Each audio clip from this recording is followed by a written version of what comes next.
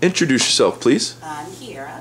Okay, and what did you tell us about what you did prior to being here the last two and a half days? Um, I'm a student, Okay, and a student specifically for what? being a doctor. Wow, pretty cool stuff. And you spent two and a half days here. You're going to start kind of a new career here, a new chapter. Um, tell us about the last two and a half days. What's happened for you? Um, well, I've learned a lot. Um, I've learned a lot of phrases and terms that I never knew existed about cars. I didn't know anything about cars at all. I just knew I drove one and how to make it go.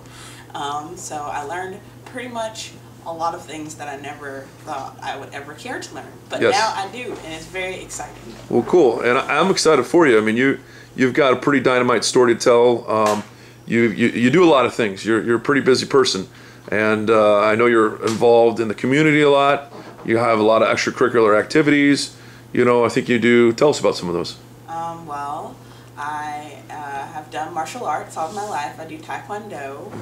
Um, I've done that since I was 6 So I'm a black belt, third degree black belt. Wow. And so I've done that.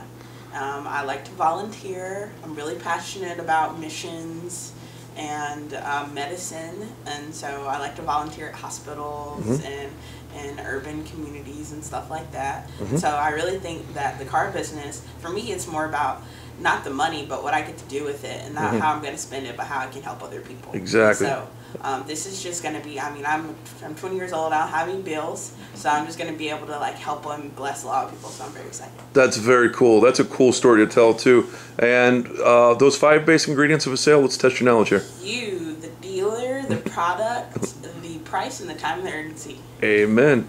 Well, enjoy your next chapter here. Have fun. I know you're going to knock it out of the park and and change a lot of other people's lives, which is a cool story. I can change your life, and in doing so, you can change other people's lives. How cool is that? It's very cool. That's priceless. All right. Well, thank you so much for being a part of it, and good luck. Thank you. All right.